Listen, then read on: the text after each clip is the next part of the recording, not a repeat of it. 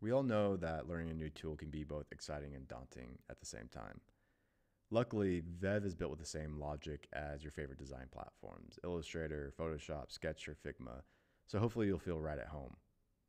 In this tutorial, we're going to give you a product tour of Vev. We're going to cover everything from the dashboard to the account settings to the different editors, the design, content, and code editors. We'll start with the dashboard here. In the main view, you'll see a project grid, and you can hover over each project and see four options, open, copy, move, or delete. Don't worry, if you do click on this, there's a second dialog box that opens, just to make sure.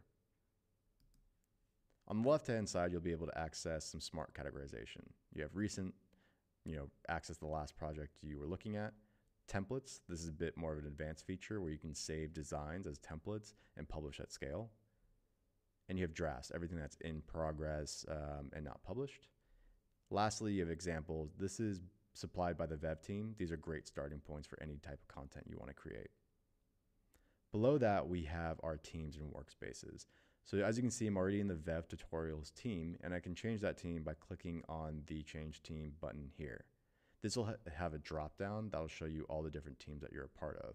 For the individual and team plans, that will only be one singular team. But for the enterprise plans, that could be anywhere between five or 10 teams, depending on the departments or how you organize it. In the workspaces, we have a tutorial folder. And think of workspaces like folders. You can just continue to build it out like you would in your desktop or Google Drive. Um, and so you can have a whole host of organization uh, principles here.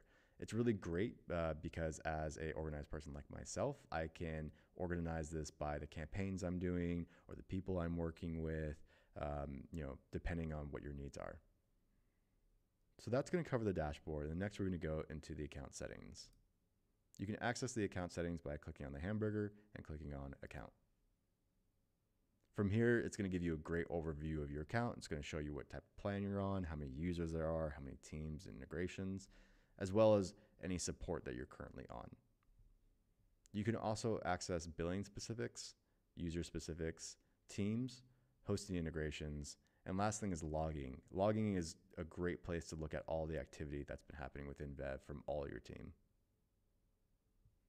So let's cover the editors now.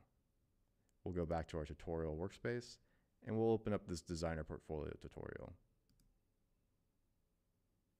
So once you're in the design editor, which is the first thing that opens, you're going to be able to do some really cool things. This is the heart of Vev. You're going to be able to choose on any element and you're going to be able to drag it around as you would in a free roaming canvas. So this at, heart, at its heart is really the true power of Vev. Other platforms adhere to a grid format, but we, we really want to free the imagination. So we really just want to make sure you can drag something on the canvas and place it exactly where you'd like to. Now, again, it is responsive. So you basically you place it for desktop, tablet, and mobile, and each breakpoint is saved. Therefore, you can have really unique layouts. And if you do mess up, you can press Apple Z and get it right back into the last save position. So next we have the content editor. The content editor is great for writers. It's going to lock the design in place. So the only thing that can happen here is changing text or images or buttons or things of that nature. Each element has a certain amount of variables that it can um, customize or it can edit within the cust- uh, within the content editor. So you're really at no risk of breaking the designs, which is great. So for instance, for images, you can change the focal point or you can simply change the image. Lastly, we have the code editor. In the code editor, you'll be able to access any feature that we have, any widget, um, really any code. A lot of platforms lock you out of code, and we really want to invite you into it. So the way we do that um, is by really revealing the tech stack behind Vev, which is fully built in React. So if you're well versed in React, you'll feel right at home. And here, this is just an example of the style um, sheet that we're working with. So for instance, you'll see highlighted we have this Vev command. And this is really an interesting part of Vev. So instead of hard coding styles um, all the time, you know, colors and, um, you know, primaries and all that kind of stuff, all you're going to do is just basically code VEV, Vev. And that's going to hook up straight to the design editor so the user can pick for you. So for instance, we have color VEV. All that's telling is all it's telling the the program is essentially, you know, let the user pick the color palette. So the user can use our design or our color wheel and just choose exactly what um, hex value they would like to choose from.